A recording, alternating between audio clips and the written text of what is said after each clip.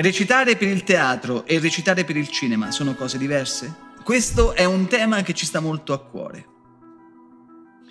Rispondere a questa domanda senza fare di distinguo si rischia di essere superficiali e di farci male, ma a noi piace rischiare. La differenza fondamentale, dalla quale poi scaturiscono quasi tutte le altre,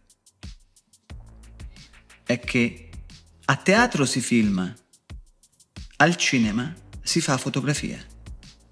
Ripeto, a teatro si fa quello che troppi attori credono sia il cinema. Infatti, quando vanno a recitare per il cinema, fanno quello che fanno a teatro. Invece nel cinema si fa quello che pochi attori sanno, comporre fotografie. Fotografie. Facciamo un piccolo disclaimer.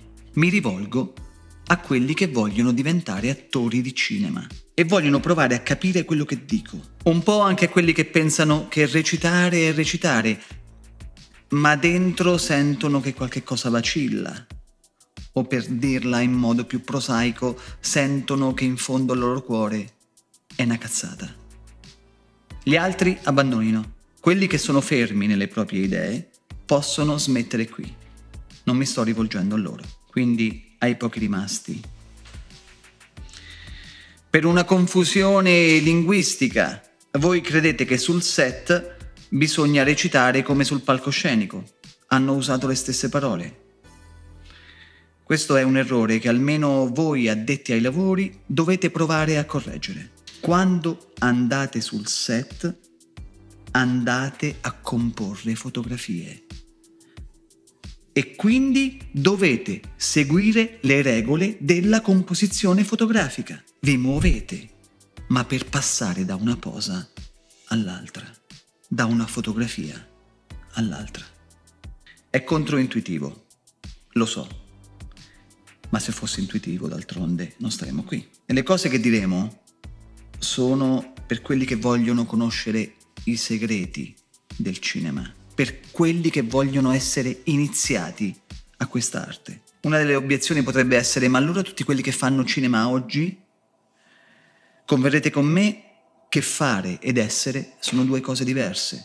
Tanti fanno gli attori di cinema, ma pochi lo sono. Cercando di prendervi per mano, io vorrei portarvi in un viaggio breve, breve ma intenso, in come la vedo io.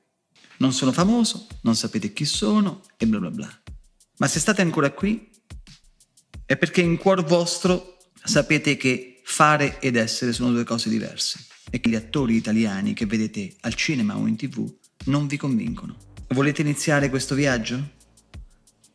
Seguite la serie che stiamo pubblicando su questo canale, Tutto il rosso del cinema. Osserveremo nel dettaglio quello che fanno i grandi attori. Vi indicherò esattamente dove guardare e se per caso qualche cosa risuona in voi, qualche cosa vi attrae, deciderete poi se proseguire.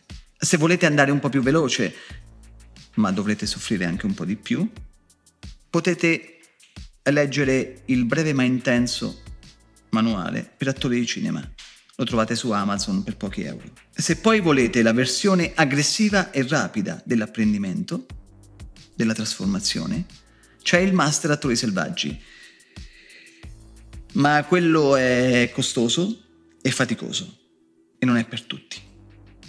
È rapido, ma faticoso. Faticoso e costoso. Io direi di lasciarlo solo per quelli che proprio non possono farne a meno di diventare attori di cinema. Quindi, per cominciare, su quanto ho detto che il cinema è comporre fotografie, per esempio andatevi a vedere l'episodio di Tutto il rosso del cinema su Apocalypse Now. Good night and good luck. Allora